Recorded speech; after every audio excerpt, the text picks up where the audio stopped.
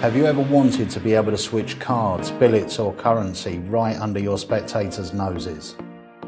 The Gentleman Jack allows you to do just that and it's built into an innocent looking hip pocket style Himber wallet.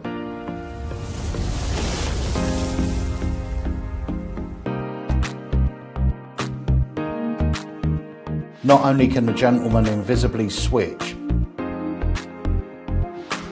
but this awesome little tool makes for a great add a number pad and the perfect hideout for your cribs. Okay, guys, so I'm going to try something with you if that's okay. Uh, but you've still got to watch very carefully. Um, I'll start by showing you a card that's in my wallet, and I'm just going to leave this on the table.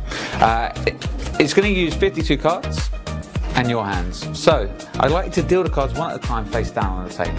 Uh, but they can come from anywhere. They haven't got to come from the top, they literally can come from anywhere. Whenever you want, you stop. Okay?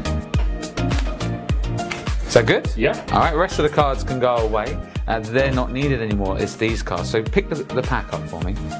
And you're going to create a card that even you didn't know you were going to pick. So I want you to do two piles, of the cards all the way through. That's it.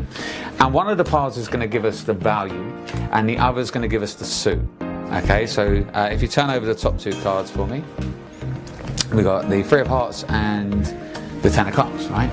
So this could be the value, which will give us the 10, and then that would be the suit, which is 10 of Hearts or Three of Clubs. Right. It is on you. What would you like? Three of clubs. The Three of Clubs. Now I'm going to give you one chance to change your mind, because you might kick yourself when you see this card. No, I'm going to stick with the three. You sure? Yeah, please. Look, I showed you there was one card in my wallet. I'm going to take it out, there's nothing else in there. And crazy enough, that is Oh wow, that's a perfect match. Go. Thank you guys. I'm Peter Nardi and this is the Gentleman Jack gimmick.